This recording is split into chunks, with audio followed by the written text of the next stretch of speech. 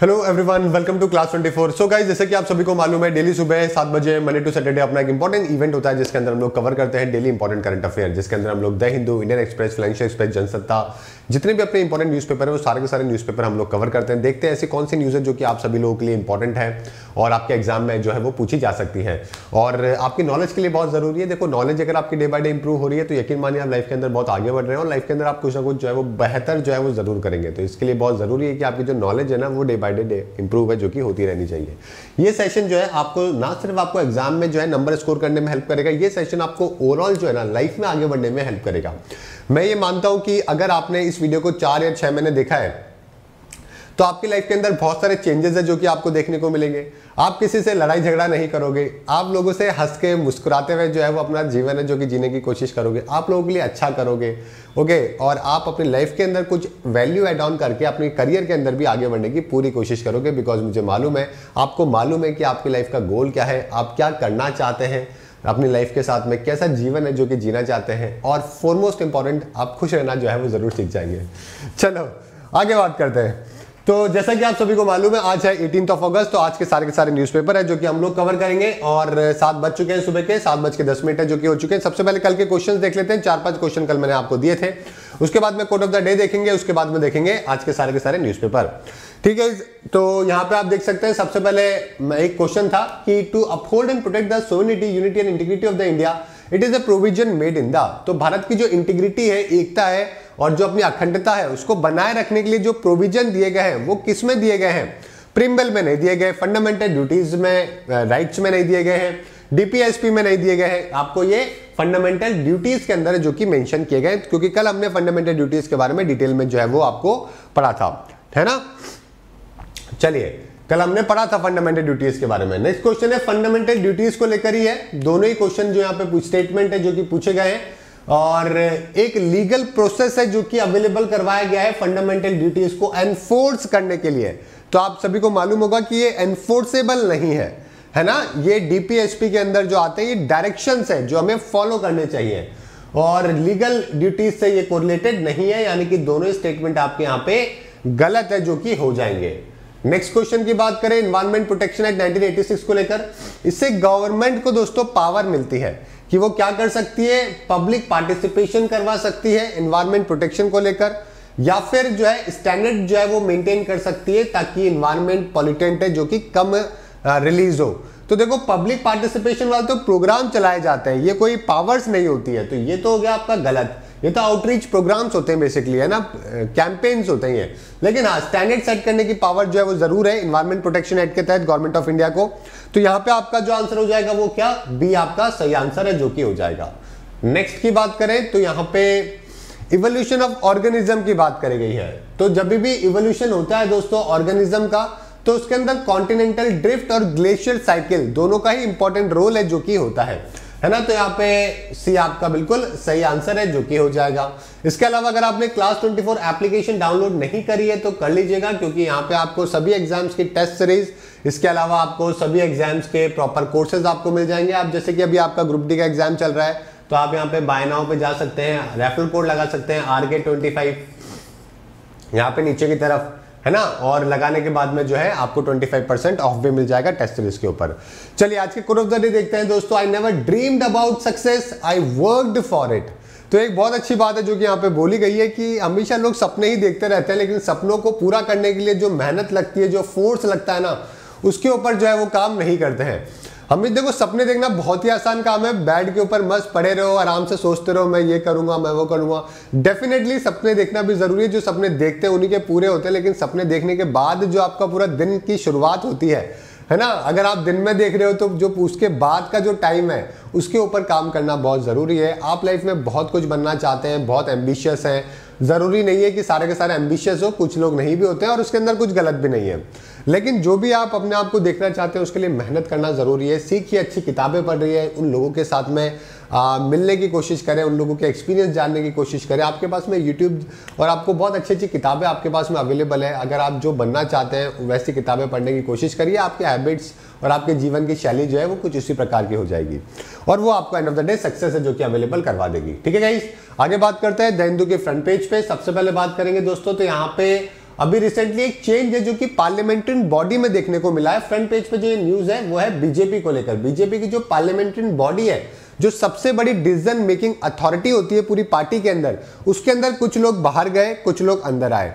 जो कुछ लोग बाहर गए उसमें दो बहुत ही बड़े नाम है। एक तो आपके दोस्तों गडकरी जी हैं ठीक है जिनको अभी इसके अंदर से आ, बाहर निकाल दिया गया है। इसके अलावा शिवराज सिंह चौहान एक बहुत बड़ा नाम है। जिन लोगों को इंक्लूड किया गया है, वो सर्वनंदा सोनेवाल है और आपके येदुरप्पा जी को यहाँ पे इंक्लूड किया गया है। 2014 के अंदर लालकृष्ण आडवाणी जी को भी यहाँ से टाटा बाय बाय कर दिया गया था। समझ गए? तो ये आपका दोस्तों, छोटी सी न्यूज़ है, कुछ खास पेपर के लिए, किसी भी चीज़ के लिए इंपॉर्टेंट नहीं है। कुल मिला आप ये देख सकते हैं कि कौन ज़्यादा पावरफुल हो रहा है पार्टी के अंदर, कौन थोड़ा कम हो रहा है, आप उसका अंदाज़ा यहाँ से लगा सकते हैं। चार पाँच पोजीशन खाली हो गई थी। जब सुषमा स्वराज जी, साथ में अपने और भी कई लोग हैं जिनकी डेथ हो गई थी, जैसे कि अरुण जेटली जी थे, है ना, अनंत कुमार थे, वेंकैया नायडू जो है वो वीपी बन गए थे। तो कुछ पोजीशन खाली हो गई थी तो उनके यहाँ पे फिलफिल करी गई है। यहाँ पे दोस्तों, कल जो है ना काफ़ी ट्विटर के ऊपर जो है वो हंगामा मचा रहा है। उसका कारण क्या रहा दोस्तों? है ना? उसका कारण क्या रहा? एक ट्वीट रहा। हरदीप सिंह पुरी जी जो जो कि आपको मालूम है अपने हाउसिंग मिनिस्टर हैं उन्होंने एक ट्वीट किया और बोला कि जो रोहिंग्या मुस्लिम्स है जो कि बांग्लादेश से आए थे म्यांमार से आए थे इंडिया के अंदर उनको हमने दिल्ली के अंदर जो अपने आ, जो अपने अपार्टमेंट से जो कि सरकार के द्वारा बनाए गए थे उनके अंदर हमने उनको जगह है जो कि अवेलेबल करवा दी है। आने वाले दिनों के अंदर हम उनको छोटी जो बेसिक फैसिलिटीज़ होती है वो सब भी अवेलेबल करवा देंगे। ठीक है guys united nations high commission for refugee UN H H C R ये बोलता है कि आपको जो ऐसे रिफ्यूजीज है, उनके लिए एक सेफ़ प्लेस है जो कि अवेलेबल करवानी चाहिए। आईडी हो गया, साथ में पुलिस का प्रोटेक्शन हो गया। ये सब है और खाने पीने की सुविधा जब तक उनको काम नहीं मिल पा रहा है वहाँ पे। तो ये कुछ बेसिक फैसिलिटीज़ है जो कि मिलनी चाहिए। तो वो बेसिक फैसिलिटीज़ जो है हम लोग अवेलेबल करवा रहे हैं रोहिंग्या रिफ्यूजीज को।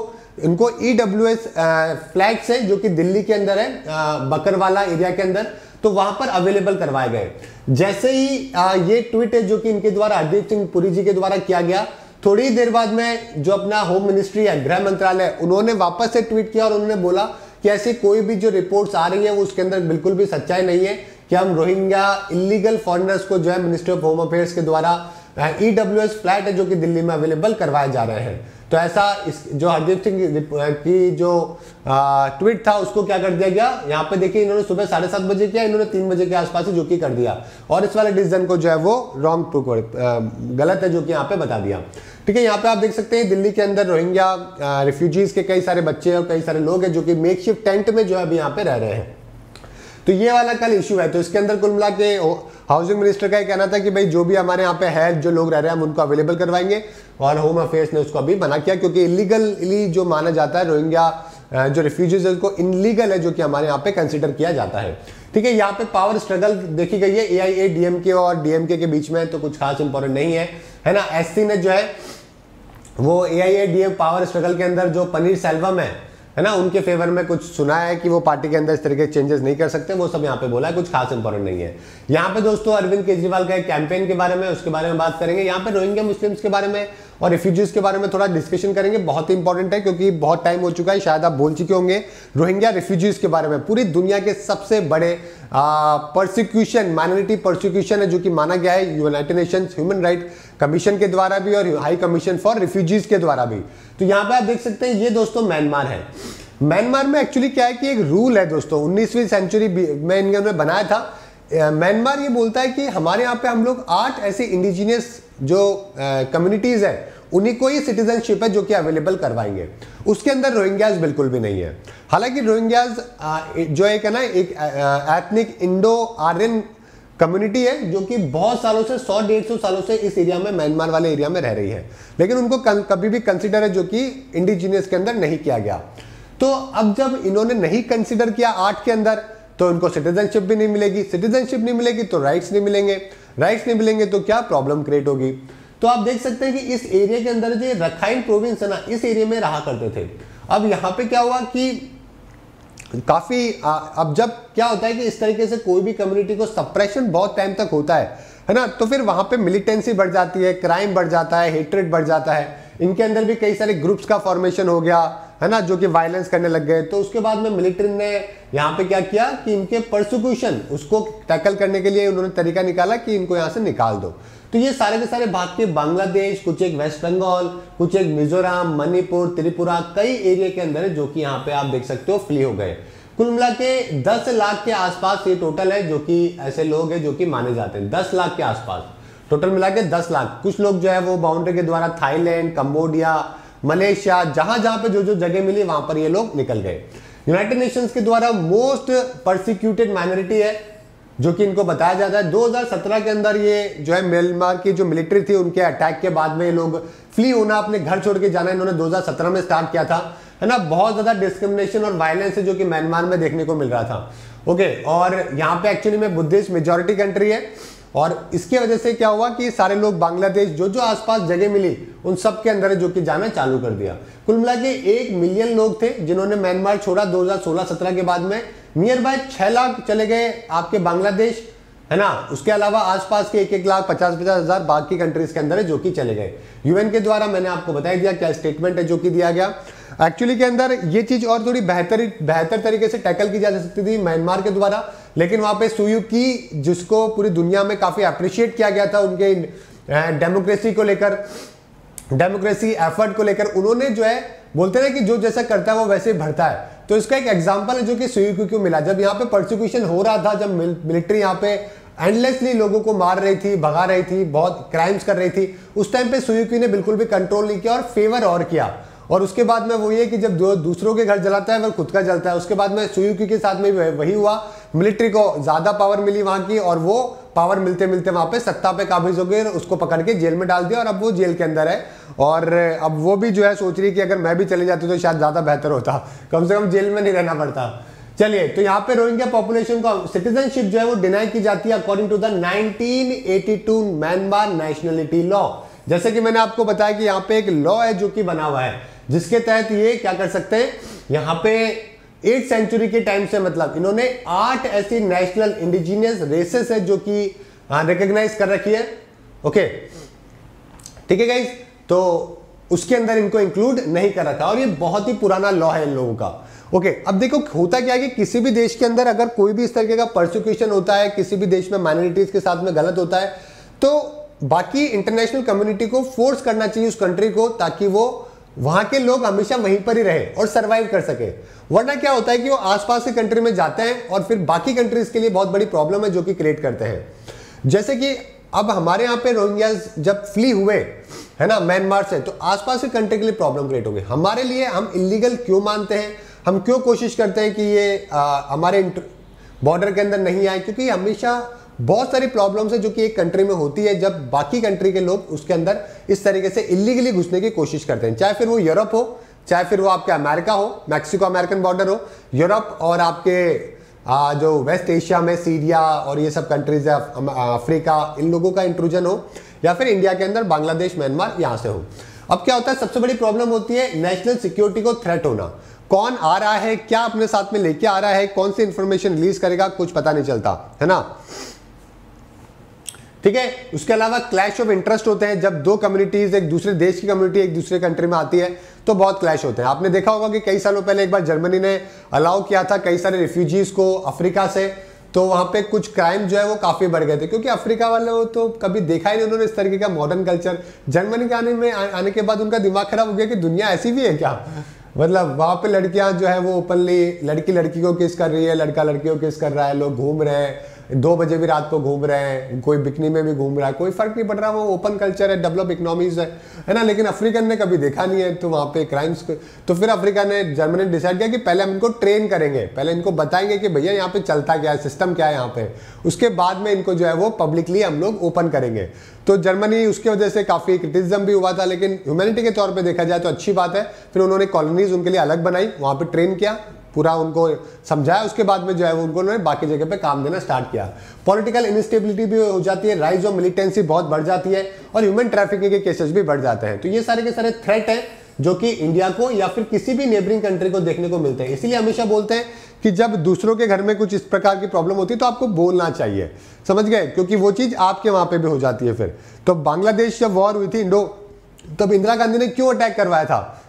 उसको क्यों इंडिपेंडेंट दिलाई थी? उसका मेजर कारण था इकोनॉमी आपको मालूम नहीं होना चाहिए कि बहुत सारे लोग हैं जो कि बांग्लादेश से पाकिस्तान और बांग्लादेश वॉर के अंदर जो है ना इंडिया के अंदर घुस के आ रहे थे और वो हमारे लिए बहुत बड़ा इकोनॉमिकल लॉसेज हो रहा था क्योंकि हम हमारी पॉपुलेशन को नहीं संभाल पा रहे।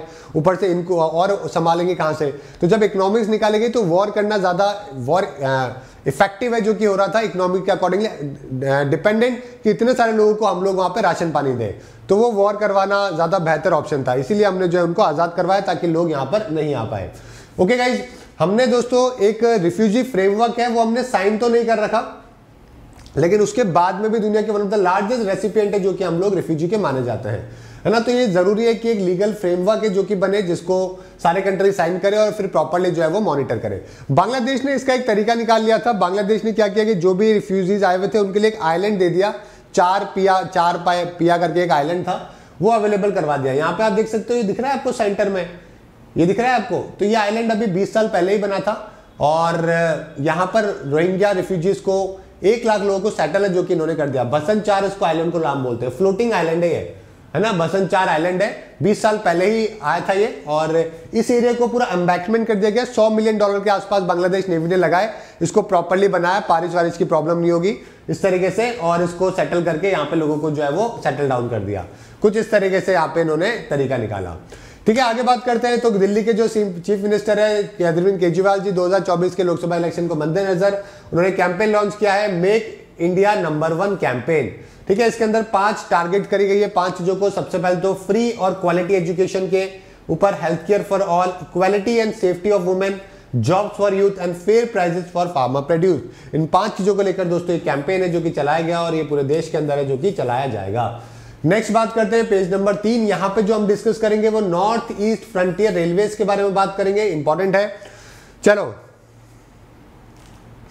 हाँ बिल्कुल, ये बात भी सही है। चंदन ने सही बोला कि ये जो आइलैंड है ना, इसके अंदर जून से लेकर सितंबर तक बहुत हैवी रेनफॉल होती है और ये आइलैंड के ऊपर पानी काफ़ी आ जाता है। हालाँकि नेवी ने एम्बैकमेंट तो किया हुआ है उसको रोकने के लिए, लेकिन फिर भी मतलब उस आइलैंड की भी हालत जो है वो कुछ खास नहीं है। ठीक है? चलिए। ऑल राइट कार्तिक बोल रहे हैं कि, सर बैंक एग्ज़ाम में करंट अफेयर पूरा अटैम्प कर पाया। Thank you okay completely my pleasure Kartik बहुत अच्छी बात है यार, आप लोग अटेम्प्ट करके आ रहे हो, है ना? चलिए। ठीक है? आगे बढ़े। तो यहाँ पे इस वाले न्यूज़ के बारे में बात करेंगे। तो यहाँ पे एक्चुअली क्या क्या गया है कि कामाख्या टेंपल आने के लिए, आपको मालूम है, लाखों लोग हैं जो कि कामाख्या टेंपल घूमने आते हैं। बहुत ज़्यादा श्रद्धा है कामाख्या टेंपल को लेकर पूरे देश में लोगों की। तो बहुत लोग आते हैं, है ना? तो उनके लिए एक रोप रोपवे जो कि बनाने की बात की जा रही है। तो रोप वे जो है कामख्या रेलवे स्टेशन से, कामख्या टेंपल जो गुवाहाटी के अंदर दोनों के बीच में जो लिंक है ना, वो रोप वे के थ्रू करने की बात की जा रही है। और ये काम कौन करेगा? ये नॉर्थ ईस्ट का फ्रंट एंड रेलवे वो प्लान है जो कि कर रहा है। ठीक है, दोनों के बीच में जो डिस्टेंस है बहुत ज़्यादा नहीं है, डेढ़ किलोमीटर के आसपास ही रेलवे स्टेशन और साथ में टेंपल के बीच में। तो एक इजी पैसेज के लिए एक्सेस के लिए जो है ये अवेलेबल करवाया जा रहा है। ठीक है तो अगर आपको रेलवे का एग्ज़ाम दे रहे हो तो उस वाले एग्ज़ाम के अंदर जो है, जैसे कि आपका जूनियर इंजीनियर का एग्ज़ाम आने वाला है, वहाँ पर ये सवाल है जो कि आपके बन सकता है, छोटा सा है। और ठीक है, चलिए। 1800 मीटर के आसपास का एक से लेकर दूसरा कनेक्ट है जो कि यहाँ पे किया जाएगा। 2020 के अंदर जो है इसको बनाने की बात है जो कि करी गई थी। ये आप देख सकते हैं, बहुत ही ब्यूटीफुल टेंपल है, कामाख्या टेंपल और, है ना, गुवाहाटी के अंदर ही है और जब भी नॉर्थ ईस्ट घूमने जाते हैं, सबसे पहले कामाख्या टेंपल होते हुए है, जो कि जाते हैं। और कामाख्या टेंपल की बात करें, हिंदू टेंपल है डेडिकेटेड है दोस्तों जो गॉड गॉडेस है कामाख्या, उनको वन ऑफ़ द ओल्डेस्ट 51 जो अपनी शक्ति पीठ है, उनमें से वन ऑफ़ द ओल्डेस्ट जो कि माना जाता है। नीलांचल हिल है है ना? वहाँ पर इसको बना रखा है टेंपल को और गुवाहाटी के अंदर है। ठीक है गाइज़ जो टेन महाविद्याज है, उनमें से एक को ये जो है डेडिकेटेड है। चलिए, और अबूबाची फेस्टिवल बहुत ही फ़ेमस फेस्टिवल है, वो भी हर साल यहाँ पे मनाया जाता है। चलिए, यहाँ पे एक ये कौन है? Mega dot com new artificial intelligence 84 percent will find a girl for you क्या बात है। इसको बोलो कि पहले खुद के लिए तो फाइंड कर ले, फिर दूसरों के लिए बाद में करना। मतलब कहाँ सुबह सुबह ही प्रमोट करने आ गए मतलब? हैप्पी जन्माष्टमी एवरीवन चलो। चलिए, ठीक है, आगे बात करते हैं। पेज नंबर पाँच की, यहाँ पर हम लोग बात करेंगे दोस्तों, जो कि एक तो देखिए, गोदावरी जो है, वो ओवरफ्लो हो गई है तेलंगाना के अंदर, है ना? वो यहाँ पे फ़ोटो ये एक जीआई टैग की बात करी गई है, जो हैंडीक्राफ्ट आपको दिख रहा है, हैदराबाद के पास में जो चार मीनार है ना, उसके पास में बहुत सारी दुकानें आपको ऐसे चूड़ियों की मिलेगी बैंगल्स की। है ना? अभी रिसेंटली जो है एप्लीकेशन लगाई गई है जीआई टैग मिलने के लिए। इनको बोलते हैं लाख जो आता है ना, लाख के बैंगल्स है ये। ठीक है? तो इनको जीआई टैग है, जो कि देने के लिए एप्लीकेशन करवाई गई है। हमारे लिए इंपॉर्टेंट है यहाँ पे केरला को लेकर। केरला ने दोस्तों, केरला पहला राज्य ऐसा बन चुका है इंडिया के अंदर जो खुद की कैब सर्विसेज़ है जिसने लॉन्च करी है। तो यहाँ पे आप देख सकते हैं इसका नाम है केरला सवारी कंट्री की फ़र्स्ट ऑनलाइन टैक्सी सर्विस जो कि स्टेट गवर्नमेंट के द्वारा ओन है। नॉर्मली कोई भी स्टेट गवर्नमेंट ओन क्यों नहीं करती है?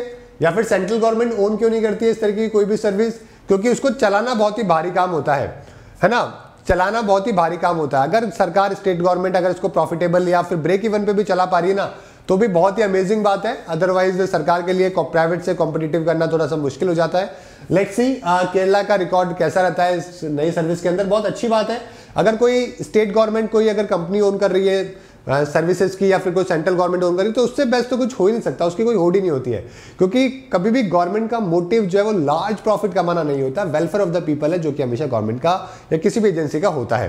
है ना, आप वहाँ से billions of millions of dollar कमा के कमा के कहीं नहीं जाओगे, वो पैसा यूज़ तो होगा वापस से स्टेट गवर्नमेंट ही है जो कि उसको वापस से बजट में यूज़ करेगी। समझ गए? आप उसको लेके नहीं जा सकते विदेश के अंदर, जैसे कि अब ऊबर है, पैसे कमाएगा, कहाँ जाएगा? दूसरे देश में इन्वेस्ट करेगा या कहीं और इन्वेस्ट करेगा? वाली कहानी है। फ़र्स्ट ऑनलाइन टैक्सी सर्विस जो स्टेट गवर्नमेंट के द्वारा ओन करी गई और यहाँ पर इन्होंने जो सरचार्ज जो सर्विस चार्ज रखा है, वो आठ परसेंट रखा है। नॉर्मली बीस से तीस परसेंट है जो कि ऑनलाइन टैक्सीज में होता है। और एक पैनिक बटन भी दिया हुआ है वुमेन सेफ्टी के लिए, बच्चों के लिए सीनियर सिटीजन के लिए। हर एक ड्राइवर को पहले एक सर्टिफिकेशन मिलेगा, उसके बाद में वो ड्राइव कर सकता है। नियर बाय साढ़े पाँच सौ व्हीकल है जो कि अभी इन्होंने लगाए हैं, जिसमें से ऑटो रिक्शा भी है, दो सौ ढाई सौ के आसपास कार भी है। सबसे पहले तिरुवनंतपुरम के अंदर इसको लॉन्च किया गया है। उसके बाद में बाकी फेजेस में इसको लॉन्च है, जो कि किया जाएगा। आप देख सकते हैं, गुब्बारे उब्बारे सब कुछ पिनाराय विजयनंद सीपीआईएम पार्टी के यहाँ पे चीफ मिनिस्टर है, उनके द्वारा केरला सवारी है, जो कि ऑनलाइन टैक्सी सर्विस लॉन्च करी गई। नेक्स्ट है दोस्तों, एक बहुत ही अच्छा आर्टिकल है, जो कि द हिंदू के अंदर आया है, जो कि है आर्टिक वार्मिंग को लेकर। इसके बारे में बात करेंगे। क्या आपने सोचा है, आज के टाइम पे बारिश हमारे यहाँ पे बहुत ही अनइवन तरीके से होने लगी है? आपने देखा होगा कि जो बारिश का मौसम है, उस टाइम पे तो आजकल बारिश कम होती है, और उसके बाद में ज़्यादा होती है। कभी बारिश होती है तो दो दिन तक बहुत ही लगातार होती रहती है। नहीं होती है तो फिर चार दिन, पाँच दिन तक बारिश ही नहीं होती है। अदरवाइज़ जब हम छोटे थे, तब आपने रेनफॉल का पैटर्न अगर महसूस किया होगा तो आपने देखा होगा कि बारिश के सीज़न में धीरे धीरे बारिश पूरे दो तीन महीने तक चलती ही रहती थी। इतनी चलती थी कि लोग बाहर जाने से भी लगता था लोगों को डर कि यार अब बारिश हो रही होगी। ऑलरेडी एक्सपेक्टेड था कि बारिश तो हो ही रही होगी। रेनी सीज़न है भाई। है ना? कपड़े लोगों को सूखते थे तो आंटी लोग उससे परेशान रहा करते थे हमेशा के हमेशा। लेकिन अभी पैटर्न बहुत चेंज हो गया है। है ना, अभी जुलाई, अगस्त का जो रेनफॉल टाइम होता है, उसमें बारिश कम सितंबर अक्टूबर तक जो है वो बारिश ज़्यादा जाने लग गई है। तो ये चेंज जो है वो क्यों आया है? समझ गए? ठीक है, ये चेंज है जो कि क्यों आया उसका वन ऑफ़ द मेजर कारण है जो कि यहाँ पे आर्टिक वार्मिंग का बताया गया है। आपको जान के हैरानी होगी कि जो ग्लोबली जो टेम्परेचर चेंज हो रहा है, उससे पाँच गुना से, सात गुना ज़्यादा जो है टेम्परेचर चेंज या फिर टेम्परेचर राइज आपको आर्टिक वाले रीजन में देखने को मिल रहा है। तो उसी को दोस्तों यहाँ पे आर्टिक वार्मिंग है जो कि कहा गया है, जो ग्रीनलैंड की आइस शील्ड है, वो बहुत ही अलार्मिंग रेट के ऊपर है जो कि क्या हो रही है मेल्ट हो रही है। और इससे क्या हो रहा है, हमारा मानसून है जो कि बहुत ही अफेक्ट है जो कि कर रहा है। तो इसके बारे में डिटेल एनालिसिस है जो कि यहाँ पे किया गया है। फिनिश जो मेट्रोलॉजिकल इंस्टीट्यूट है, उन्होंने रिसेंटली एक पेपर है जो कि पब्लिश करें जिसमें बताया गया है कि चार गुना ज़्यादा आर्टिक है जो कि हीट हो रहा है कंपैरेटिवली हमारे प्लैनेट के। और ज़्यादातर जो है ये आर्टिक यूरेशियन जो पार्ट है, वहाँ पर ज़्यादा वार्म है जो कि हो रहा है। जो रशिया के नॉर्थ में जो बैरेंट सी है नॉर्वे का जो एरिया है आर्टिक का, वहाँ पे बहुत ही अलार्मिंग रेट है। इनफैक्ट कई जगह पे तो सात गुना ज़्यादा है जो कि ग्लोबल एवरेज से बताया गया है। और भी 2021 के अंदर 2022 के अंदर स्टडी करी गई थी, वहाँ पर भी यही पाँच से सात गुना ज़्यादा वहाँ में जो कि हुआ है आर्टिक हो रहा है कंपेरेटिवली हमारे प्लेनेट के वो यहाँ पे रिसेंट स्टडी के अंदर है जो कि बताया गया। अब आप यहाँ पे देख सकते हैं इसको बोलते हैं आर्टिक एम्पलीफिकेशन आपसे पेपर में कई बार पूछे कि होता क्या है आर्टिक एम्पलीफिकेशन तो आर्टिक एम्पलीफिकेशन का मतलब यही होता है कि जब बाकी प्लेनेट के ऊपर जिस रेट से आ, हीट बढ़ रही है उससे कई ज़्यादा गुना जब आर्टिक रीजन के अंदर हीट बढ़े वहाँ के ग्रीनलैंड के जो बड़े बड़े ग्लेशियर्स बहुत तेज मेल्ट हो जाए तो उसको आर्टिक एम्पलीफिकेशन है जो कि कहते हैं। समझ गए मेरी बात? चलिए तो आप देख सकते हो कि ह्यूमन एक्टिविटीज़ की वजह से प्री इंडस्ट्रियल टाइम जो नाइनटीन सेंचुरी थी, उससे अगर हम लोग ट्वेंटी सेंचुरी को कंपेयर करें तो 1.1 डिग्री सेल्सियस जो टेम्परेचर है ना, वो हमारे प्लानिट का बढ़ गया है। ओके इसके अंदर मेजर चेंज आपके सरफेस के एयर टेम्परेचर का रेडिएशन के बैलेंस का ये भी देखने को मिलता है। उसकी वजह से आपके नॉर्थ पोल और साउथ पोल को काफ़ी नुकसान है, जो कि हो रहा है। इसको पोलर एम्पलीफिकेशन भी कहते हैं, और अगर आर्टिक में हो तो उसको आर्टिक एम्पलीफिकेशन भी कहते हैं। समझ गए? तो ज़्यादातर जो नुकसान है वो पोल्स के अंदर हो रहा है। अगर वहाँ पे ग्लेशियर में अगर पिघले गए ज़्यादा तेज तो ऑब्वियसली सी लेवल बढ़ेगा छोटे छोटे कंट्रीज़ की प्रॉब्लम हो जाएगी। हमारे भी कोस्टल एरियाज़ में प्रॉब्लम हो सकती है। ग्लोबल वार्मिंग बनने की वजह से बहुत सारे नुकसान है, जो कि होते हैं। ठीक है जो प्राइमरी कॉजेज बताए गए ग्लोबल वार्मिंग के, के उसके अंदर आपके लैप्स रेट जो फीडबैक है वाटर वेपर का ओशन के हीट का ये सब भी जो है बताया गया है। ठीक है चलिए इसके अलावा अगर मैं बात करूँ जो आइस शीट जो आपकी है वो बहुत ज़्यादा मेल्ट है जो कि कर रही है सोलर रेडिएशन की वजह से।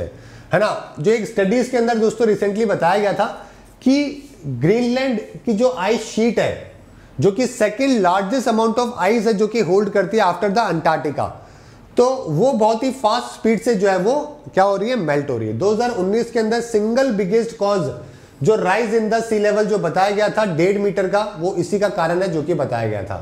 ओके okay, और अगर ये इसी तरीके से जाता रहा तो सात मीटर तक राइस जो है पानी के अंदर देखने को मिलेगा जिससे कई सारे आइलैंड कंट्रीज़ और हमारे कंट्री के कोस्टल एरिया पे भी प्रॉब्लम है जो कि आ सकती है। ओके चलिए तो यहाँ पे अगर इस तरीके का कोई भी प्रॉब्लम आती है आर्टिक ओशन की वार्मिंग होती है तो और भी बहुत सारे प्रॉब्लम्स होती है। जैसे कि एसिडिफिकेशन वाटर का होगा सेलिनिटी लेवल जो है वो चेंज होगा बायोडाइवर्सिटी चेंज हो जाएगी मरीन स्पीशियस जो है, उनकी लाइफ को इश्यूज़ आ जाएँगे। समझ गए? इसके अलावा रेनफॉल के जो इंसिडेंट है, वो बहुत ज़्यादा चेंज होंगे। कहाँ पर कितनी रेनफॉल होगी लाइकन्स होंगे, कितना अफेक्ट होगा अफेक्ट होगा रेनफॉल के ऊपर, ये सारे काफ़ी चेंजेस है जो कि देखने को मिलेंगे। और जब आपके फिशिंग की भी प्रॉब्लम हो जाती है तो आपके स्टारवेशन जो बुकबरी है, वो भी कई सारे कंट्रीज़ में बढ़ जाएगी, क्योंकि वो फिशिंग नहीं कर पाएँगे। कई सारे आर्टिक एनिमल्स जो है, उनकी डेथ हो जाएगी, है ना? तो ये जो परमा फ्रॉस्ट है परमा फ्रॉस्ट का मतलब होता है जो बहुत ही थिक लेयर होती है जो आइस की। और ये धीरे धीरे कार्बन और मिथेन भी रिलीज़ करने लगेगी। और कई सारे ऐसे वायरसेस और बैक्टीरिया भी रिलीज़ करने लगेगी, जिसकी वजह से कई सारे नए डिजीजेज है जो कि देखने को मिलेंगे। तो ये भी एक बहुत बड़ा कारण है, क्योंकि अभी क्या होता है, ये जो पूरी की पूरी आइस की जो शीट है ना, ये बहुत सारे बैक्टीरिया को अपने अंदर दबा के रखी हुई है। जब ये पिघलेंगे तो कई सारे बैक्टीरिया और वायरसेस वापस से जो है वो रिवाइव हो जाएँगे। अब हमारे इन्वायरमेंट के ऊपर क्या इसका इंपैक्ट होगा, वो भी यहाँ पे साइंटिस्ट ने स्टडी करी है कि जो सब कॉन्टिनेंट है इंडियन सब कॉन्टिनेंट यहाँ पे मानसून पैटर्न के ऊपर क्या चेंज है जो कि देखने को मिलेगा। तो आज के टाइम पे बहुत ही एक्सट्रीम वेदर कंडीशन है जो कि हमारे कंट्री में देखने को मिल रही है। बहुत ही ज़्यादा रिलायंस हम लोग रेनफॉल के ऊपर हो गए हैं। फ़ूड के ऊपर जो है स्केसिटी देखने को मिल रही है। फ़ूड सिक्योरिटी भी बहुत इंपॉर्टेंट पैरामीटर है क्योंकि रेनफॉल होगी तभी फ़ूड सिक्योरिटी मिलेगी। रेनफॉल का पैटर्न चेंज होता जा रहा है। जहाँ पे नहीं होनी थी, वहाँ पे हो रही है। जहाँ होनी चाहिए, वहाँ पे हो नहीं रही है। तो ये पॉसिबल रिलेशन जो है वो पता किया गया कि ये जो आर्टिक सी का जो लेवल है और हमारे यहाँ पे जो ये लेट सीज़न है इंडियन मानसून का, दोनों के बीच में रिलेशन है जो कि पता किया गया। 2021 के अंदर रिपोर्ट भी पब्लिश करी गई, जिसके अंदर यही बोला गया कि जो ये आइस जो रिड्यूस हो रही है बैरेट कैरा सी यानी कि जो आर्टिक वाले एरिया के अंदर, इसकी वजह से हमारे यहाँ पे एक्सट्रीम रेनफॉल इवेंट्स है जो कि बाद में मानसून में देखने को मिल रहे हैं। इनफैक्ट सितंबर और अक्टूबर में देखने को मिल रहे हैं। जो हमारे यहाँ पे एटमोस्फेरिक सर्कुलेशन है, वो चेंज हो गया है। वार्म टेम्परेचर बढ़ गया अरेबियन सी में। उसकी वजह से मॉइस्चर और एक्सट्रीम रेनफॉल इवेंट है जो कि देखने को मिल रहे हैं। तो हमने दोस्तों एक I N D A R C करके, ये हमने एक अंडर वाटर ऑब्जर्वेटरी भी जो है वो सेवल बर्ड में स्टैब्लिश करी थी 2014 के अंदर। ये जो हमने ऑब्जर्वेटरी बनाई थी, वो इसलिए बनाई थी चेक करने के लिए बनाई थी कि अगर आर्टिक में कोई भी चेंज होता है तो उससे हमारे यहाँ पे क्या चेंज होता है? ये देखने के लिए हमने इसको स्टैब्लिश किया था। ठीक है तो उम्मीद करता हूँ ये पूरा आर्टिकल आपको समझ में आ गया होगा। ये देख सकते हो जिस एरिया की मैं बात कर रहा हूँ ना ये ग्रीनलैंड, अलास्का के ऊपर वाला है। यहाँ पे देखिए, काफ़ी ज़्यादा टेम्परेचर चेंज है और 2021 आर्टिक के अंदर सेवंथ सबसे गर्म ईयर है जो कि आज तक का रहा है। और टेम्परेचर चेंज देख सकते हो। ये तो नीचे वाला तो ग्लोबल है। ये देखो ग्लोबल वाला तो कितना चेंज हो रहा है, लेकिन आर्टिक के अंदर अगर आप देखोगे तो ये बीच में गैप देखिए। काफ़ी ज़्यादा चेंज है जो कि आर्टिक के अंदर। ओवर द टाइम देखने को मिला है। पहले अगर आप देखोगे तो इतना दोनों ऊपर नीचे चल रहे थे। लेकिन अभी देखिए गैप बहुत ज़्यादा आ गया है और ये पिछले 10-20 सालों के अंदर ही देखने को मिला है। चलो, आगे बात करते हैं, पेज नंबर 12 क्लाइमेट इन्वायरमेंट से रिलेटेड एक और न्यूज़ है दोस्तों, जो कि है आपके दिल्ली को लेकर। दिल्ली में पर्टिकुलर मैटर 2.5 जो है, वो दुनिया में वर्स्ट है, जो कि बताया गया है। उसकी भी एक रिपोर्ट है, इसके अलावा सेंटर ने दोस्तों प्रोजेक्ट किया रिकॉर्ड प्रोटेक्शन ऑफ़ राइट इसके बारे में बात करेंगे। और श्रीलंका, अगर आप कोई शादी वादी कर रहे हो या करने का प्लान है आप लोगों का तो आप लोगों के लिए श्रीलंका जो है हनीमून के लिए बहुत ही बढ़िया रहेगा। आप लोगों को बता देता हूँ, क्योंकि श्रीलंका दोस्तों अभी अपने टूरिज़्म में वापस रिवाइव करने वाला है कुछ दिनों के अंदर, और बारिश के बाद में, और बहुत ही अच्छी अमेजिंग ऑफरिंग बहुत ही सस्ते में जो है वो आपको देने वाला है। ठीक है इंडियन टूरिस्ट के लिए तो खैर, जैसे कि अगर आप देखोगे कि इंडियन टूरिस्ट मैक्सिमम टूरिस्ट है जो कि आते हैं। है ना? अगर 2000 कौन से ईयर की बताऊँ? चलो 2019 देख लेते हैं। 2019 में साढ़े तीन लाख इंडियन से जो कि घूमने गए। चाइनीज़ गए डेढ़ लाख। यूएसए के, ठीक है दो लाख और रशिया के नियर बाय अस्सी हज़ार लोग हैं जो कि श्रीलंका गए थे घूमने। कोविड के टाइम पे भी दोस्तों हमारे यहाँ से पिछहत्तर हज़ार, दो हज़ार बाईस में अभी तक पिछहत्तर हज़ार लोग जो कि श्रीलंका घूमने के लिए जा चुके हैं। तो यहाँ पे कई सारी न्यू ऑफरिंग्स है जो कि ये लोग देंगे, बहुत ही सस्ते में करवाएँगे आपको, रहना, खाना, ठीक है, जो भी आपका है, क्योंकि इनको बढ़ावा देना है। तो जो होटल अगर आपको दस हज़ार रुपये में मिलेगा, वो आपको दो हज़ार रुपये में देंगे क्योंकि इनको अपनी इकोनॉमी रिवाइव करनी है। तो देख लेना भाई, अगर आपको कोई कहीं घूमने उमने का प्लान है तो दो तीन महीने बाद चले जाना। सीयूटी के फोर्थ स्टेज के अंदर भी ग्लिच है जो कि देखने को मिला। चलिए, ठीक है तो यहाँ पे बताया गया दोस्तों, अभी ग्लोबल एनालिसिस है जो कि एयर क्वालिटी का किया गया इंडियन सिटीज़ के ऊपर इंक्लूडिंग इंडियन सिटीज़ जहाँ पे पर्टिकुलर मैटर 2.5 के बारे में बात करी गई है। एक्चुअली में क्या हुआ कि इस रिपोर्ट के अंदर जो पूरी ग्लोबली जो ये रिपोर्ट पब्लिश करी गई है, इसके अंदर ये बताया गया है, कौन से सिटी के अंदर पर्टिकुलर मैटर 2.5 कितना है। है ना? आप सभी को मालूम है कि एक छोटे सेंटीमीटर स्क्वायर एरिया के अंदर कितने छोटे छोटे से पार्टिकल होते हैं 2.5 माइक्रोग्राम के, है ना? एक एक छोटे से एयर के एरिया में, वो बताए जाते हैं। है ना? पर सेंटीमीटर क्यूब या पर मीटर क्यूब एरिया के अंदर कितने पर्टिकुलर मैटर माइक्रोग्राम के जो है एयर में है? क्योंकि जो छोटे छोटे माइक्रो पार्टिकल्स जो एयर में होते हैं, वो हमें दिखते नहीं है, लेकिन हम सांस के साथ में हमारी बॉडी में लेते हैं लंग्स में जाते हैं और हमारे लिए प्रॉब्लम क्रिएट करते हैं। तो एयर जो है वो क्लीन होनी चाहिए। ये छोटे छोटे से जो मैटर हमारे एयर में घूमते हैं ना, ये हमारे ऑक्सीजन के साथ में जाते हैं और हमारे प्रॉब्लम क्रिएट करते हैं। समझ गए? तो यहाँ पे एक air quality and health in cities ये रिपोर्ट है जो कि यूएस के एक ऑर्गेनाइजेशन के द्वारा पब्लिश करी गई जहाँ पे दुनिया की 7000 सिटीज़ के बारे में बताया गया। ओके okay, कि कहाँ पर 2.5 पीएम है और नाइट्रोजन डाइऑक्साइड NO2 के बारे में भी बताया गया। तो अच्छी बात यह है कि NO2 के अंदर हमारी कोई भी सिटीज़ नहीं है टॉप 10 टॉप 20 में। लेकिन पर्टिकुलर मैटर की अगर बात करें दोस्तों तो यहाँ पर पर्टिकुलर मैटर के अंदर दिल्ली और कोलकाता ये नंबर वन और नंबर टू के ऊपर है, जो कि बताया गया है। है ना? दिल्ली का यहाँ पे 110 माइक्रोग्राम पर मीटर क्यूब 110 माइक्रोग्राम पार्टिकल आपको एक मीटर क्यूब एरिया में मिलेंगे।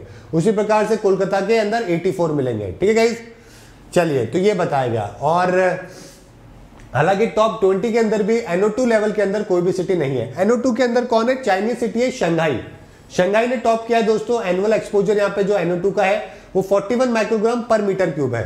ठीक है दिल्ली कोलकाता मुंबई का एवरेज एनओ लेवल जो है वो 20 से 30 के बीच में बताया गया है। एनओ टू कहाँ से आता है? एनओ तो आपको नॉर्मली देखने को मिलता है बर्निंग ऑफ़ फ्यूल से। ओके okay, अगर आप पावर प्लांट का इंडस्ट्रियल फैसिलिटीज़ है ना कुकिंग हीटिंग इससे आपको एनओ जो है वो एयर के अंदर जाता है।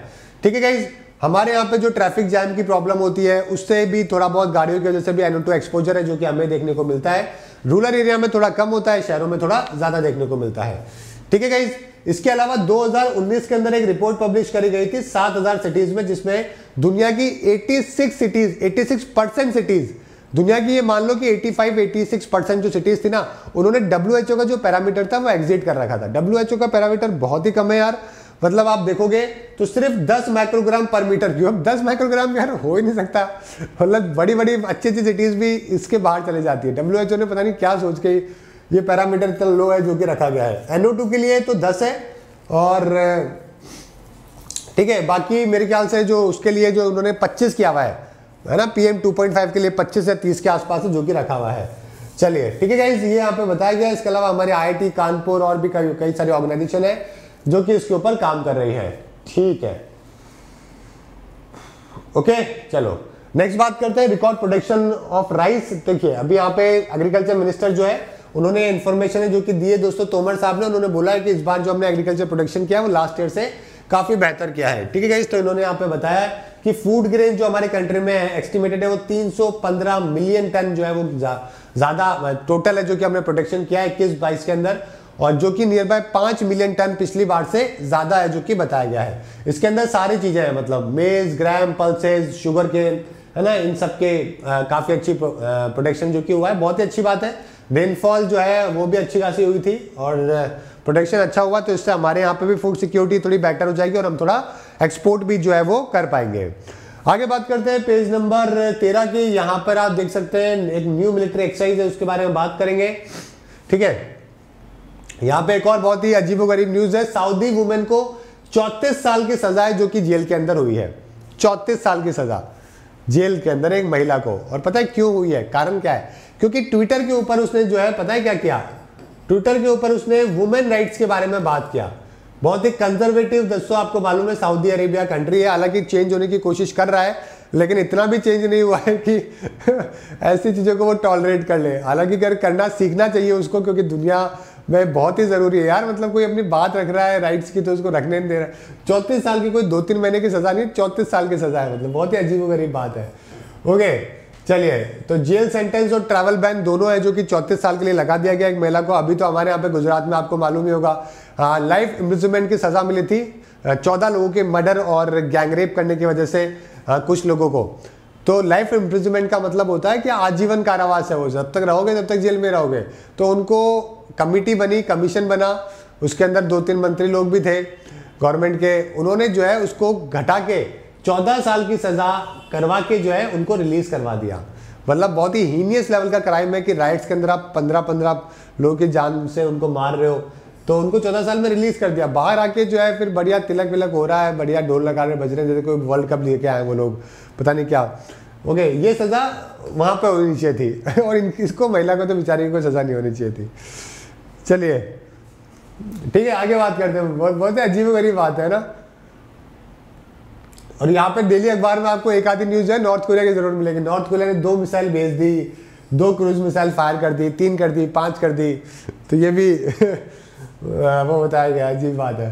चलिए, आगे बात करते हैं। यहाँ पे आप देख सकते हैं दोस्तों, यहाँ पे जो है व्लादिमीर पुतिन को लेकर तो यहाँ पे चाइनीज़ सर्विसमैन से हाथ मिलाते हुए ज्वाइंट मिलिट्री एक्सरसाइज है। जो कि वॉस्टॉक के अंदर 2018 के अंदर है, जो कि ये करवाई गई थी, ये तब की फ़ोटो है। अभी रिसेंटली क्या है कि इंडिया और चाइना की जो ट्रुप्स है, जो हमारे जवान है, हमारी जो आर्मी है, वो भी पार्टिसिपेट करेगी। रशिया के अंदर, इस मंथ के अंदर जो है एक मिलिट्री एक्सरसाइज है, जो कि कंडक्ट होने वाली है। ठीक है, इसका नाम जो है दोस्तों है वो होता है वॉस्टोक इसका नाम होता है वॉस्टोक ईस्ट एक्सरसाइज 2022 ठीक है, ये 30 अगस्त से लेकर 5 या 13 सितंबर तक है, जो कि चलने वाली है। और यहाँ पे कई सारे पार्टी कंट्रीज़ है जो कि और भी पार्टिसिपेट करेंगे मतलब। ऐसा नहीं है सिर्फ़ इंडिया और रशिया और साथ में चाइना ही पार्टिसिपेट करने वाले हैं। और भी जो आसपास की कंट्रीज़ है, वो भी इसके अंदर पार्टिसिपेट है, जो कि आने वाले दिनों में करेगी। ठीक है गाइस वो यहाँ पर इन्फॉर्मेशन है जो कि दी गई है। बस आपको ध्यान रखिएगा वॉस्टॉक ईस्ट इसका नाम है और इसको रशिया में करवाया जाएगा। चलिए आगे बात करते हैं। पेज नंबर चौदह, कल परसों भी मैंने आपको एक दो एक्सरसाइज के बारे में बताया था गरुड़ा के बारे में बताया था है ना? और भी एक दो एक्सरसाइज के बारे में बात करते हैं। इंटरनेशनली भी आ, जो है वो हो रही थी एक्सरसाइज चलिए आगे बात करते हैं पेज नंबर चौदह। पेज नंबर चौदह की बात करें तो यूके के अंदर इन्फ्लेशन दोस्तों पिछले 20 सालों का मैक्सिमम है जो कि हो गया है। इसके अलावा अस्सी से थोड़ा डॉलर जो है थोड़ा नीचे आ गया। हमारा रुपये अच्छी बात है। इसके अलावा हमारे लिए जो यहाँ पे इंपॉर्टेंट है दोस्तों वो हम लोग बात करेंगे। एक छोटी सी न्यूज़ थी। कहाँ चली गई? एक बार देख लेते हैं कौन सी थी। हाँ बिल्कुल। यहाँ पे एक छोटी सी न्यूज़ है, ये वाली इसके बारे में बात करेंगे। एक्चुअली में ये जो न्यूज़ है, वो है आपके इंटरनेट स्पीड को लेकर। तो पूरी दुनिया में दोस्तों, जुलाई के अंदर हमने एक स्पॉट जो है, हम लोग ऊपर आ गए हैं, किसके अंदर? मोबाइल स्पीड के अंदर। ठीक है तो यहाँ पर रिसेंटली डेटा पब्लिश किया गया मीडियन मोबाइल स्पीड के अंदर, जिसमें 117 रैंक है, जो कि हमारी दुनिया में आ चुकी है। जून में हम लोग 118 नंबर के ऊपर थे। ठीक है गाइज़ डाउनलोडिंग स्पीड जो है, हमारी पहले 13 एमबीपीएस थी और अभी ये 14 एमबीपीएस के आसपास है, जो कि आ गई है। ओखला करके आपने देखा होगा, अगर आपको मोबाइल, इंटरनेट स्पीड चेक करनी है तो आप ओखला पे जाके कर सकते हैं। गूगल स्पीड भी करके कर सकते हैं। गूगल भी आपको इंटरनेट स्पीड है, जो कि बताता है। तो कनेक्टिविटी जो है वो पूरी दुनिया के अंदर है, जो कि बताई गई ब्रॉडबैंड जो आपकी स्पीड होती है ना ब्रॉडबैंड की, उसके अंदर भी हमारी रैंकिंग इंप्रूव हुई है।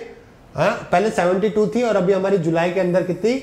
70 रैंक है, जो कि यहाँ पे हो गई है। ठीक है तो अभी भी दुनिया के अंदर मतलब हमसे जो है वो काफ़ी सारे कंट्रीज़ है, जो कि आगे हैं। 100 आ, कितना? 117 कंट्रीज़ है 16 कंट्रीज़ है जो कि इंटरनेट स्पीड के अंदर हमसे आगे है। लेकिन अगर मैं बात करूँ दोस्तों की आपके प्राइसेस की तो प्राइस में दुनिया में टॉप पाँच कंट्री में हम लोग जो कि सबसे कम प्राइस के अंदर आपको फोर सुविधा है जो कि अवेलेबल होती है। है ना? एक डॉलर के आसपास भी नहीं पड़ता मतलब हमारे तो यहाँ पे कितना दो जी पर डे मिलता है ना तो सात सौ रुपये का कितना हो गया? आ, आपको दो जी मिलता है शायद पर डे और आप आठ सौ रुपये का रिचार्ज करवाते होंगे मेरे ख्याल से पूरे महीने का। तो एक रुपये या दो रुपये मतलब होता होगा क्या है ना? दस रुपये या बीस रुपये के टाइप पर जी होता होगा। अगर बाहर के कंट्रीज़ में देखोगे तो आपको ये मिलेगा पाँच सौ, सात सौ रुपये में पर एक दो जीबी के आसपास। तो बहुत ही महँगा होता है। ठीक है, लेकिन यहाँ अपना जो स्पीड के अंदर जो है हम लोग अभी 117 नंबर के ऊपर है जो कि पहुँच गए हैं। इसके अंदर अगर ग्लोबली बात करें तो हाईएस्ट स्पीड जो है देखने को मिली है किसकी? यूएई यूएई के अंदर मैक्सिमम स्पीड है जो कि देखने को मिली है। इसके अलावा चिली जो है दोस्तों, वो डेवलपिंग कंट्रीज़ के अंदर फ़र्स्ट स्पॉट के ऊपर है है ना? भूटान और मोरिताना के अंदर भी दोस्तों काफ़ी ज़बरदस्त स्पीड है, जो कि डेवलपिंग कंट्रीज़ के अंदर बताई गई है। ये कंट्रीज़ भी काफ़ी स्पीड के अंदर आगे है। चलिए, आगे बात करते हैं। यहाँ पे देख सकते हो आप कि हम लोग कौन सा 5G ट्रायल्स भी जो है हम लोग कर रहे हैं, और एंड ऑफ़ दिस ईयर तक मुझे लगता है कि 5G भी स्टार्ट हो जाएगा, और उसके बाद में हमारी स्पीड जो है वो थोड़ी और बेहतर है, जो कि हो जाएगी। आप देख सकते हो कि 91 में 2G आया 2001 में 3G 2010 में 4G 2020 के अंदर 5G जो है वो पूरी हमारे कंट्री और पूरी दुनिया में लॉन्च हो चुका है। मैक्सिमम डाटा स्पीड की अगर बारे में बात करें तो यहाँ पे अगर आप देखोगे तो 14 के बी पी एस तीन सौ सौ एम बी पी एस और अभी एक जी बी है जो कि 5G में आपको देखने को मिलेगा। और डाउनलोडिंग स्पीड देखिए, अगर आपको पाँच जीबी मूवी डाउनलोड करनी थी तो 1991 में जब आप पैदा हुए थे तो पूरा महीना लगता था आपको डाउनलोड करने में। 2001 में एक दिन में करते थे। 2010 में सात मिनट और अब 40 सेकंड के अंदर 5G आने के बाद में जो आप पाँच जीबी की जो मूवी है वो डाउनलोड कर सकते हो। हमारे यहाँ पे हर्ट्स अगर बात करें फ्रिक्वेंसी की तो यहाँ पे आप देख सकते हो बैंड्स की। तो हम लोग यहाँ पे जो बैंड यूज़ करते हैं ना, वो 3.3 से 3.6 गीगा हर्ट्ज यूज़ करते हैं। अमेरिका देखोगे तो आप देखिए कहाँ तक जा चुका है। 71 गीगा हर्ट्ज तक है, जो कि ये जा चुका है। चाइना की बात करें तो ये 42 गीगा हर्ट्ज तो हम लोग बहुत ही लो फ्रिक्वेंसी बैंड है जो कि काम में लेते हैं, है ना? और, ठीक है? मेजर कंट्रीज़ के अंदर यही हम ही कंट्री है जो कि सबसे लीस्ट नंबर ऑफ़ बैंड है जो कि यूज़ कर रहे हैं। चलिए, आगे बात करते हैं इंडियन एक्सप्रेस को लेकर। इंडियन एक्सप्रेस में ऐसा कुछ भी खास इंपॉर्टेंट है जो कि नहीं था, सारी सेम न्यूज़ है। यहाँ पे नेक्स्ट है इटली का लेक गार्डा देखो एक ये लेक है दोस्तों, इटली के अंदर। देखो, अगर आप देखोगे ना यूरोपियन कंट्रीज़ में जहाँ जहाँ पर भी आसपास में कोई लेक है या फिर आपका कोई टच होता है मेडिटेरियन सी से या कोई भी एरिया तो वहाँ पे बहुत ज़्यादा टूरिज़्म होता है। आसपास होटल्स बना दिए जाते हैं रिसोर्ट्स होते हैं, देखिए लोग पार्टी वार्टी कर रहे हैं, ये क्रूज है। यहाँ पे टूरिज़्म बहुत ज़्यादा देखने को मिलता है। समझ गए? तो इसी तरीके से इटली के अंदर भी एक लेक गार्दा है, जो कि टूरिस्ट के लिए बहुत ही फ़ेमस है। पानी की सप्लाई भी होती है इरिगेशन की भी होती है, लेकिन just because of the climatic condition यहाँ पे ड्रॉट है जो कि देखने को मिला और उसकी वजह से लेक गार्दा जो है वो धीरे धीरे श्रिंक होती जा रही है।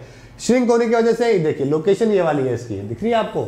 ये लोकेशन है इटली के अंदर। ये आपका रोम है रोम के अंदर ये आपको वेटिकन देखने को मिलेगा, है ना? ये आपका पीसा है, ये आपका फ्लोरेंस है, ये मैरिनो सैन मैरिनो ये वेनिस है है ना? चलिए, ठीक है? ये नेपल्स करके एक बहुत ही फ़ेमस सिटी है।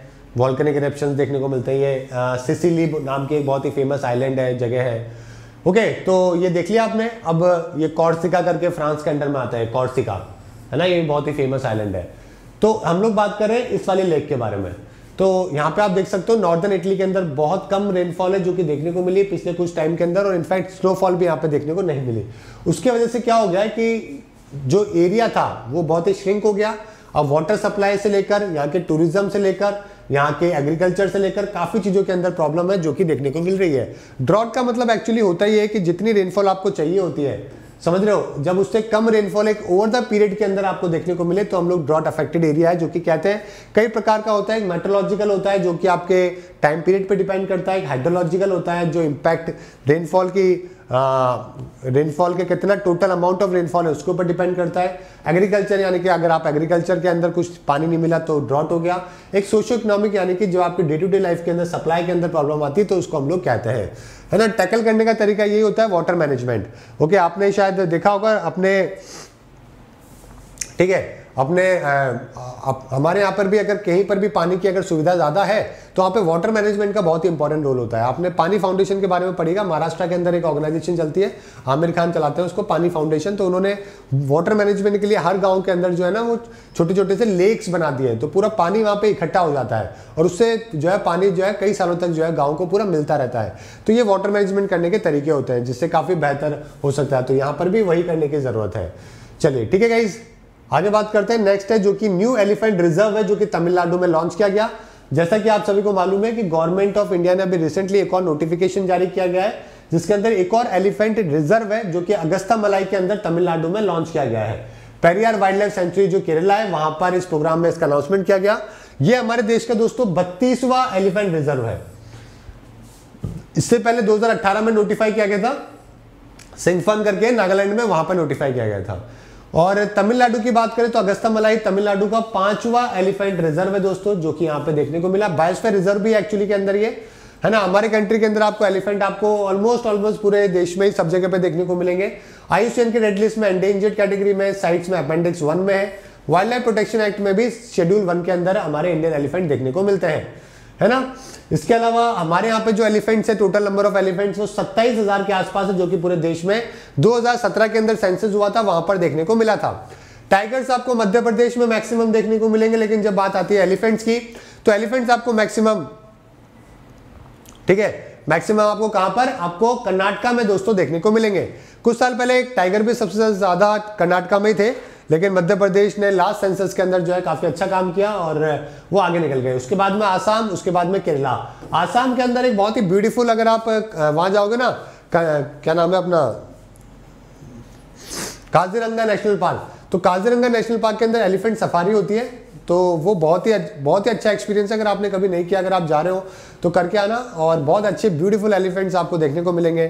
और अच्छी बात है कि उनके ऊपर कोई वर्कलोड नहीं होता, बहुत ही लिमिटेड ये बहुत ज़रूरी है कि अगर आप कहीं पर भी टूरिज़्म में काम में ले रहे हो, किसी भी एलिफेंट को या किसी भी एनिमल को तो बहुत ज़रूरी है कि उसके हेल्थ का बहुत ध्यान रखा जाए, उसके लाइवलीहुड का बहुत ध्यान रखा जाए। तो वो वहाँ पे मैंने तब देखा कि किस तरीके से काम हो रहा तो काफ़ी ठीक था काफ़ी अच्छे था। प्रेशराइज नहीं था बिल्कुल भी। नॉर्मल उनकी एक या दो रूट थे पूरे दिन में उसके अलावा नहीं। तो आ, वो क्या होता है कि पूरे फॉरेस्ट में से निकलते हैं मतलब एलिफेंट है ना अपना तोड़ते हुए निकलते हैं सर। पेड़ वेड़ जो होते हैं ना आपके जो झाड़ियाँ वाड़ियाँ होती हैं उनमें से निकलता है बीच में से हटाते हुए। तो यू कैन सी कि किस तरीके से एलिफेंट अपने खुद का रास्ता बनाते हैं। जंगल के अंदर है ना पेड़ों को झाड़ियों को काटते हुए ऐसे निकलते हैं। तो काफ़ी अच्छा है वो। एक्सपीरियंस ठीक है, उसके बाद में, आसाम के बाद में आपको केरला के अंदर है, जो कि देखने को मिलेंगे। सेंट्रली स्पॉन्सर्ड स्कीम में प्रोजेक्ट एलिफेंट 1992 के अंदर लॉन्च करी गई थी एलिफेंट को प्रोटेक्ट करने के लिए।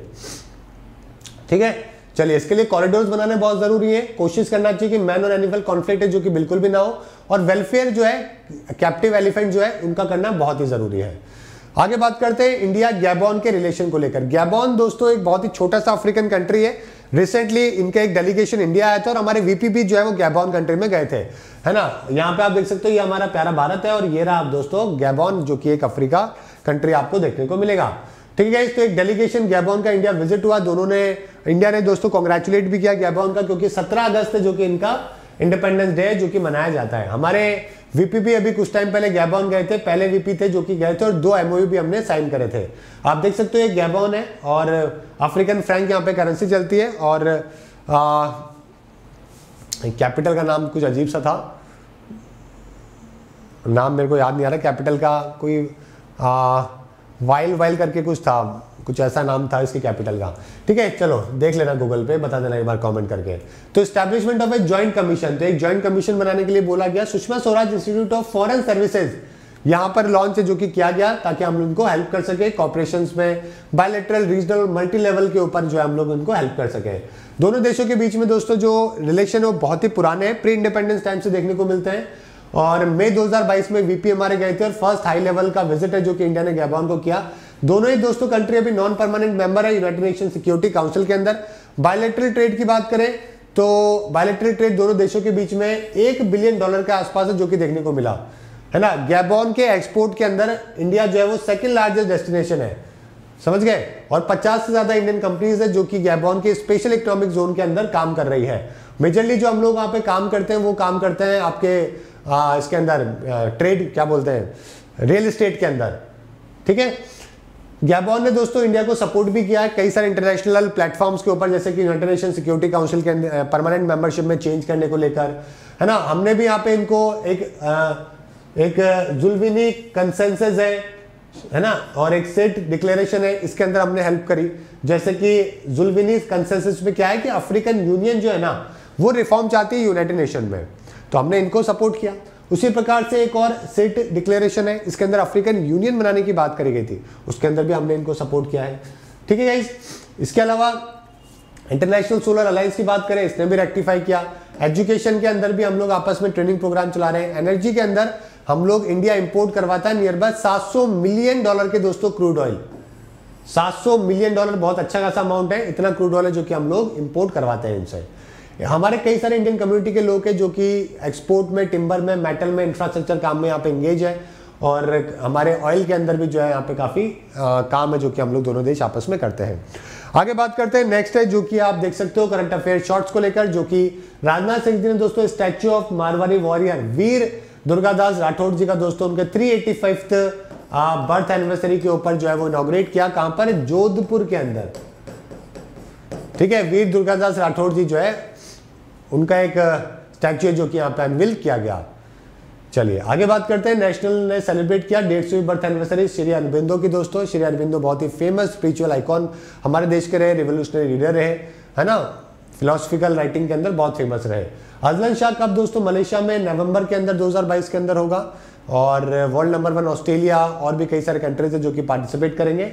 उड़ीसा गवर्नमेंट ने एमओयू किया है एनआईओटी के साथ में, ताकि कोस्ट लाइन को प्रोटेक्ट कर सके। एनआईओटी क्या है? National institute for of ocean technology उनके साथ में दोस्तों क्या है? इसका हेडक्वार्टर कहाँ पर है? इसका हेडक्वार्टर है चेन्नई के अंदर।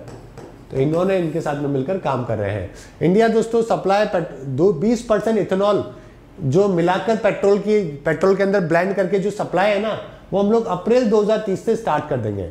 ठीक है गाइज़ तो अभी आपका जो पेट्रोल होगा, पेट्रोल पंप पे जो पेट्रोल मिलेगा, अभी तो 10-12 परसेंट एथेनॉल होता है उसमें। 20 परसेंट वाला जो है ना, वो आपको अगले साल से जो है वो मिलना चालू हो जाएगा। इससे क्या होगा थोड़ा बहुत हमारे यहाँ पे क्या होगा कि थोड़ा इंपोर्ट हम लोग थोड़ा कम करवाएँगे। हमारे यहाँ पे क्रूड ऑयल की थोड़ी बचावत है जो कि हो जाएगी। ठीक है? चलिए वो कैबनरीज की बात करें। हाफ़ का मतलब होता है किसी भी चीज़ को रिपीटेडली मैंशन करना। इसके अलावा हून का मतलब होता है किसी चीज़ को शार्प करना इंटेंस करना। एक्सॉर्बिनेंट का मतलब होता है जब आप एक्सेसिवली कोई काम करते हो है ना? बहुत ज़्यादा आप आ, बहुत ज़्यादा किसी भी चीज़ को अगर आप लेके जाते हो तो उसको कहते हैं आउटरेजियस कहते हैं है ना? हुडविंग का मतलब है मिसलीड करना किसी को भी और परलॉन का मतलब है स्टील करना लूट करना। To property to take the property of another किसी चीज़ की प्रॉपर्टी को ले लेना। ठीक है इस तो ये था आज का आपका इंपॉर्टेंट सेशन फन फैक्ट के बारे में बात करें तो शायद आपको पता होगा कि टाइगर की जो टंग टंग होती है वो इतनी ज़्यादा स्ट्रांग होती है कि वो दीवार के ऊपर से पेंट है जो कि हटा सकती है और आपकी बॉडी के ऊपर से स्किन भी जो है वो हटा सकती है। मतलब सोचिए कि लोग बोलते थे ना कि टाइगर से लड़ा है, ये वो, आप सोचिए टाइगर से लड़ना छोड़िए, अगर वो लिक भी करेगा ना तो भी स्किन हट जाएगी पूरी की पूरी। इतनी पावरफुल है जो कि इसकी टंग है, जो कि मानी जाती है। चलिए, आइए, इसके अलावा क्लास 24 फोर एप्लीकेशन डाउनलोड कर लीजिएगा और, अपना जो भी एग्ज़ाम है वो सेलेक्ट करिए, यहाँ पे आपका ग्रुप पे जाइए और आप यहाँ पे बाय नाउ पे जाके जो है सेलेक्ट कर सकते हैं और एक रेफरल कोड लगा सकते हैं आर के ट्वेंटी फाइव लगाते ही आपको ट्वेंटी फाइव परसेंट ऑफ़ है, जो कि आपको टेस्ट सीरीज़ में मिल जाएगा। ठीक है इस?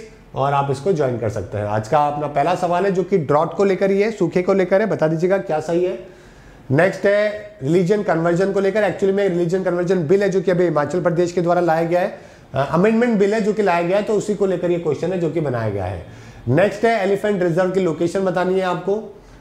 और इंडिया गैबॉन का रिलेशनशिप को लेकर दोस्तों यहाँ पे दो स्टेटमेंट है तीन स्टेटमेंट बताना है आपको कौन सा स्टेटमेंट सही है। नेक्स्ट है जो कि आपके रिसेंटली चाइल्ड गैंगरेप की वैलिडिटी को लेकर दोस्तों एक पैटिशन है जो कि दायर करी गई थी। उसमें कौन से इश्यूज़ हाईलाइट करे गए उसके बारे में बताना है। ठीक है पेपर के लिए खैर ज़्यादा अभी आ, उसके ऊपर ज़्यादा चेंजेस हुए नहीं है तो इसलिए पेपर में आएगा नहीं लेकिन आपको पता होना चाहिए। ये था आज का आपका इंपॉर्टेंट सेशन का इस वीडियो को लाइक और शेयर कर दीजिएगा। आज के लिए इतना ही। Thank you everyone good bye and nice day